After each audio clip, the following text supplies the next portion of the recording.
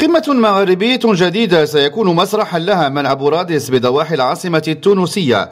ونصور قرطاج يستضيفون أسود الأطلس في ديربي مغاربي. لا تختلف أبعاده ودوافعه عن اللقاءات الرسمية.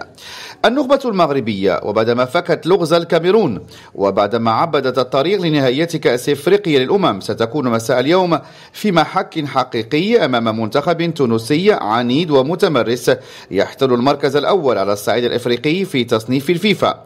وكان قد ترك انطباعا حسنا الجمعة الماضي بالرغم من هزيمته أمام مصر في إطار تسفية كأس إفريقيا للأمم.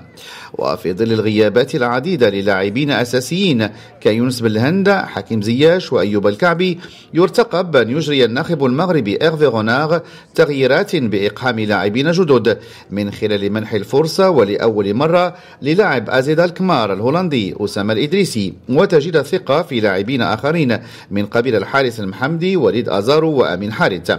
الهدف المنشود تحقيق فوز يحافظ به على المعنوية المرتفعة وذلك تحسبا للاستحقاقات القادمة.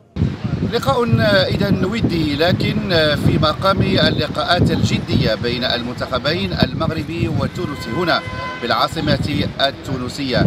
لقاء من المرتقب أن يحدد معالم المنتخب المغربي خلال الأشهر أو السنوات القادمة.